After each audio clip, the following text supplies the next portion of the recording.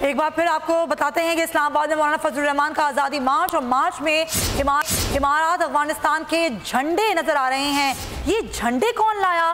یہ ایک سوال پیدا ہو گیا ہے۔ آزادی مارچ میں امارات افغانستان کے جھنڈے نظر آ رہے ہیں اور یہ جھنڈے کون لے کر آیا ہے؟ کیا یہ عمل جے یو آئی فے کی اجازت سے ہی کیا جا رہا ہے تاکہ یہ جھنڈے جو ہمیں نظر آ رہے ہیں، آپ دیکھ سکتے ہیں مناظر میں امارات افغانستان کے یہ جھنڈے ہیں جو اسلام آباد کے آزادی مارچ میں، جو کہ جے یو آئی فے کی جانب سے کیا جا رہا ہے۔ اس میں یہ جھنڈے ہم واضح طور پر دیکھ سکتے ہیں، لیکن اب سوال یہاں پر یہ پیدا ہوتا ہے کہ یہ جھنڈے کیا قیادت کی مرضی سے لائے گئے ہیں، اجازت سے لائے گئے ہیں؟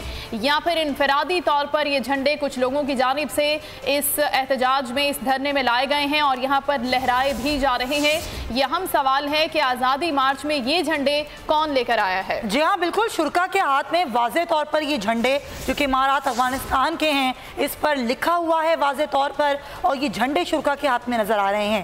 یہ جھنڈے کیسے آ گئے؟ مولانا فضل الرحمان یعنی کہ جے یو آئی فے، کیا اس بات سے واقف ہے؟ کیا ان کی اجازت سے یہ جھنڈے لائے گئے ہیں؟ یہ شرکا کون ہے جو اس مارچ میں آزادی مارچ میں موجود ہیں؟ یہ ایک اہم سوال ہے جو کہ ناظرین اب پیدا ہو گیا ہے۔ آپ یہ دیکھ سکتے ہیں کہ آزادی مارچ کے کئی شرکا اپنے ہاتھوں میں امارات افغانستان کے جھنڈے لیے ہوئے ہیں۔ یہ جھنڈے کیسے آئے؟ یہ شرکا کون ہے ان کے ہاتھوں میں جھنڈے کس نے تھمائے؟ یہ کس کی اجازت سے لے کر یہ جھنڈے آ گئے ہیں آزادی مارچ میں؟ یہ سوال اب پیدا ہو گیا ہے۔ اس سوال کا جواب اب جے یو آئی فے کو دینا ہوگا۔ ابھی جو آپ مناظر دیکھ رہے ہیں، یہ آزادی مارچ کے ہیں۔ اس مشرکہ نے ہاتھوں میں یہ جھنڈے اٹھائے ہوئے ہیں۔